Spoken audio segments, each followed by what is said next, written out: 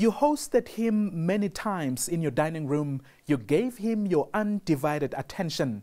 Like many people across the country, you may have enjoyed Tshamano Makhadi's reports on E! News. But what you don't know is that behind this multi award winning journalist, there's a painful journey of a little boy who had to endure degrading conditions in Limpopo, attending classes under a tree.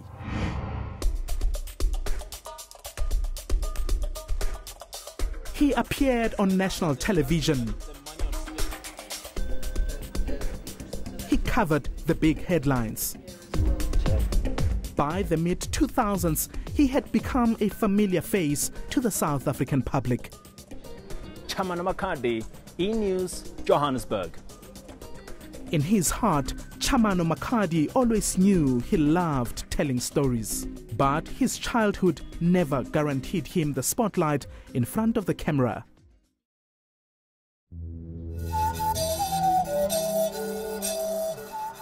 Born in 1980 in the village of Hasentumule in Limpopo, Tshamano was the youngest of six siblings. My mother and, and father, they were not educated. In fact, my mother has never, she's never been to school. They lived a very ordinary life. My, my parents were very strict. My mother in particular, she, she, she, she wanted all of us as their children to, to, to get at least uh, an education.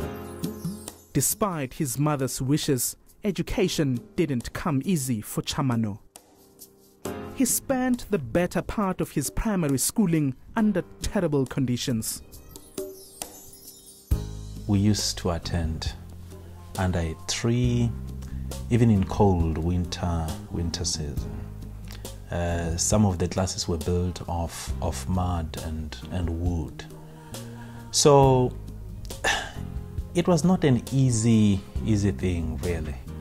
Um, but we I, I, I, just had to make the best out of, of, of the situation. With no electricity in the village, doing his homework was always hard.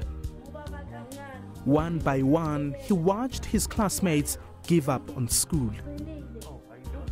They, they, they dropped out simply because of um, uh, those conditions. But uh, uh, we were fortunate enough just to have people around you who would push you uh, uh, far beyond the limit and just say to you, you know what, it's going to be okay one day.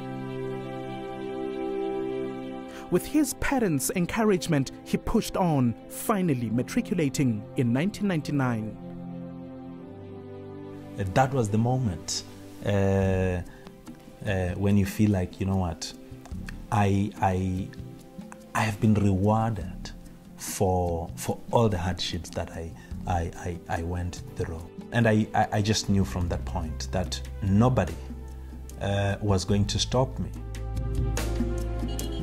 The following year, he started his journalism studies at the Gauteng Technikon but more stumbling blocks would hinder his progress. Tshamano's parents only had enough money for registration and a little more for food. I relied on 200 rands pocket money that came from my mother. So you can just imagine 200 rands. What do you do with it? You buy, I don't know, eggs, you buy mielie meal. Um, so it gets finished quickly. He knew self pity wasn't going to get him anywhere. He chose to be proactive and began working for the campus radio station to earn pocket money. But as he soldiered on, Tshamano suffered two terrible blows. First, his brother was shot dead in 2000. And while he was mourning his loss, his father died of diabetic complications six months later. It meant Tshamano's mother faced the daunting task of looking after her children alone. But then, among all the sorrow, some good news. Tshamano received a full scholarship from a Johannesburg radio station, beating 2,000 applicants. He could now continue with his journalism studies. that came as a, as a huge relief, I tell you. Uh, my mother was very happy about it. I was really excited about it because I knew uh, that this opportunity was definitely going to change my life for, for good. And he was right.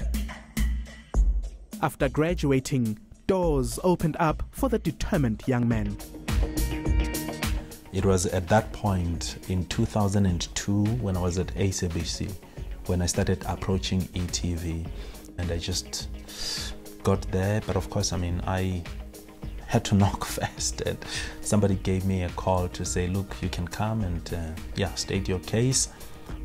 Within um, a week's time, I received a phone call to say, yes, Makhadi, uh, you can come join us on Monday. And it was at that point when I joined um, ETV, uh, and my life was never really uh, the same.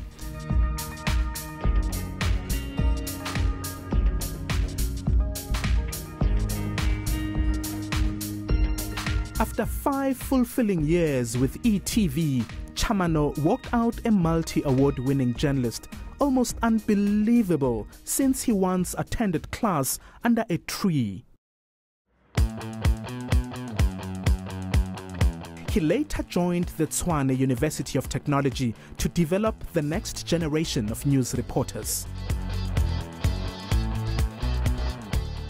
Gives you what reality is about in terms of being in broadcasting or as a reporter. And I feel as though we need that because we can't just have the academic side of things. Makhadi has taught us uh, to be go-getters. When you go out there, um, do, not, do, not, do not necessarily compromise. Go out all out for what you want. So it's, it's, it's, it's a simple uh, principle. If you are not going to do it today, when are you going to do it? And who must do it? So we all have a challenge as South Africans to make this country a better country. Amazing. Send us your feedback and let us know what you think against all odds at enca.com. Still to come. How did a Gauteng street vendor build a business empire that creates hundreds of jobs?